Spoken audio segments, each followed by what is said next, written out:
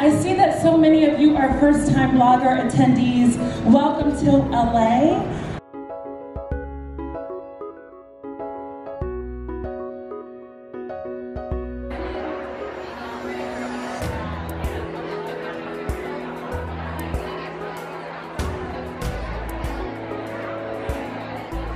Vaginas are basically my bread and butter. I can't make it through a day without getting 10 pitch emails for different menstrual products or lube or pelvic floor exercises. So sometimes I forget that these body parts are actually still somewhat taboo and stigmatized, uh, which is dumb.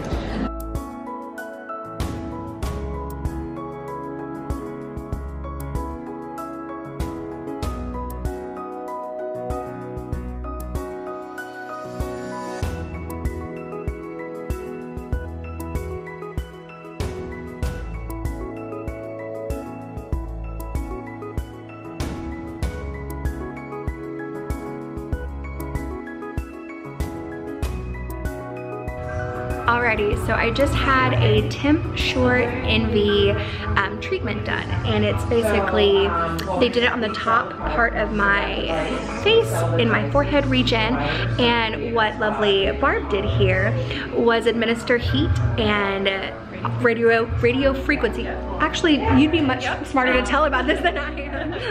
We treated her forehead um, region here with some radio frequency for uh, five minutes in each zone for lifting and this beautiful glow that she's got Oh, yeah. gorgeous face. Thank you so much.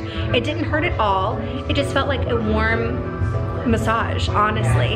And um, Barb was saying that it is something that you would need to kind of put in your beauty routine about once a month, ideally. And um, it's great for fine lines, wrinkles, kind of a brow lift. And I'm in, I'm in my 30s, y'all, so these are things I'm thinking about. But it was wonderful, wonderful Yeah. service. Thank you so Yeah, much. you're welcome. Thank you. I think we have a believer. Okay, I'm, I don't know if you can hear me or not, but I'm back in the main room at BlogHer Health. Got my seat. Um, the next talk up is going to be with Alyssa Milano, and I know for a fact she's going to talk about um, her experience in the Me Too movement.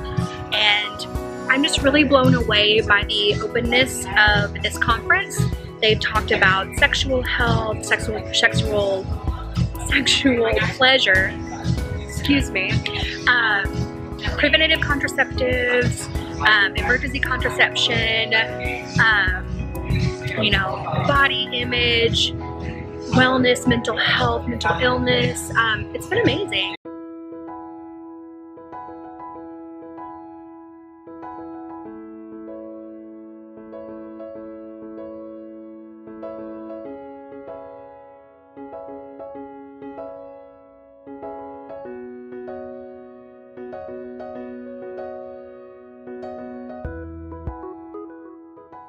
And, and the way that it, it started was um, I was diagnosed with endometriosis and PCOS um, when I was 20. And I went undiagnosed for a really long time. And I lost my first baby at that age and continued to miscarry. I am in LA traffic, headed home. It's only about 3.30, um, but the traffic starts evidently about 2.30. And the two hour drive home will take about three hours, if not a little more. But I was gonna be staying in LA this evening, but I got out of the conference really early and my body is just kind of kind of wearing out on me and the chairs were really uncomfortable. That's not their fault. They're just wooden chairs. Um, it was a very accessible event, which was great. The chairs had no arms, which was great. Um, but my body hurts really bad and it was just a lot of walking. Um, like I walked over a mile just when it came to getting to and from the event. Um, and y'all are literally just placed on my dashboard right now. I apologize if you're shaky. Um, I'll be able to tell during editing better, but the event was great. Um, I really, really loved how open um, the dialogue was allowed to be and how I don't want to say controversial the topics were because that implies that like these things shouldn't really be talked about or anything. They absolutely should. Um, but they were not afraid to talk about hot button issues like access to abortion, um, access to emergency contraceptives, access to sex education and um, pregnancy preventatives, um, to talk about sexual assault, to talk about um, depression and mental illness, anxiety, um, PCOS, like everything under the sun. And, you know, there were celebrities like Alyssa Milano and Jaime King and a bunch of really high um, caliber influencers. And it was just really refreshing to be in a room that was wellness focused, but did not at any point ever the whole day did not talk about weight loss, did not talk, did not have what I considered to be anything fat phobic. It, it was really nice. Um, now, what I will say is that there was one plus size person on stage all day um, and it was a moderator. Um, none of the guests that were asked to speak were plus size. I mean, these are things that people like me notice. Um, and other plus size people in the room, which there weren't many compared to straight size people. But it's just, you know, things that we, pardon me, unconsciously notice that, you know, the people asked to be centered at these events and the people asked to speak, you know, on these subjects, nobody looks like you. Um, but there were lots of um, women of color, um, though it was really awesome. Alyssa Milano talked about um, using her white privilege to amplify and um, bolster women of color around her and to use her platform to, you know, really be a megaphone for issues like systematic racism, you know, the um, anti-choice debate, all of that kind of stuff. But uh, please don't think I'm being unsafe. Like, as you can see, I'm going, I'm either stood still or I might be going two miles an hour, maybe. um, but yeah, it was an awesome event. The sponsors were great.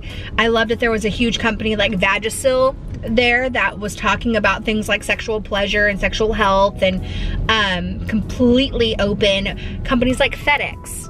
FedEx was one of the sponsors and they were they were on the same panel as people talking about sexual assault and I mean and it was just awesome um and so that was really great um it does bum me out when my body kind of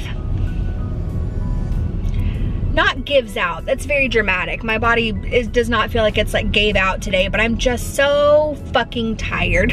You know what I mean? I'm so tired. Um, it doesn't help that I didn't sleep well last night and it doesn't help that I'm just a chronically fatigued person.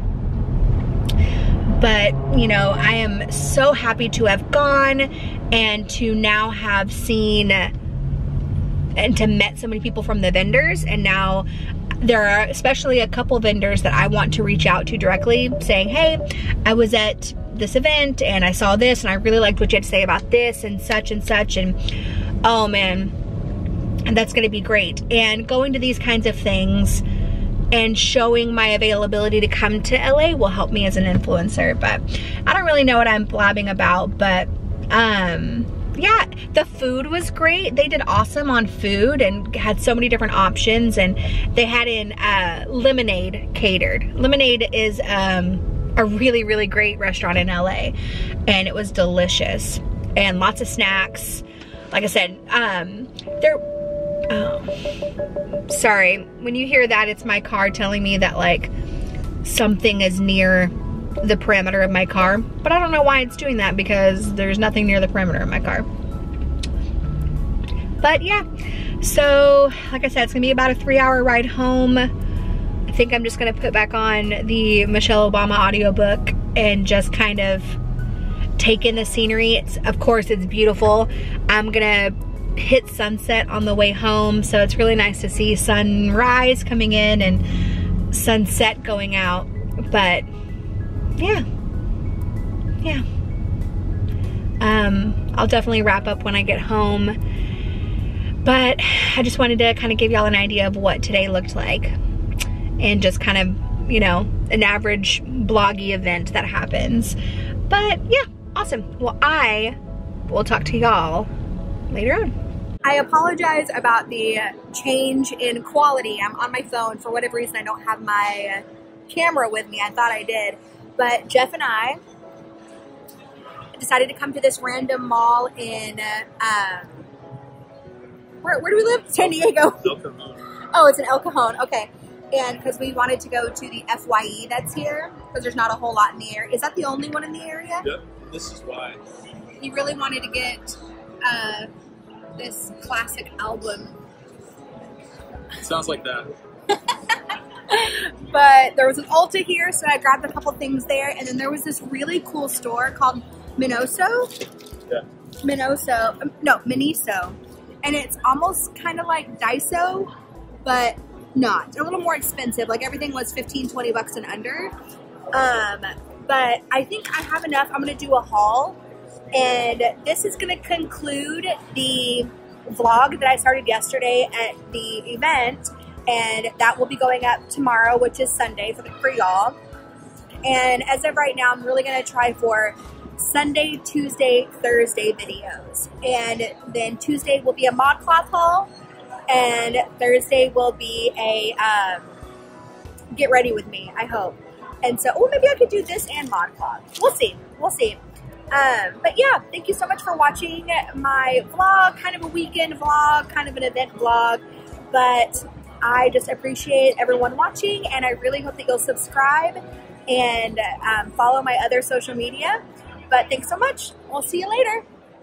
Bye. Ugh.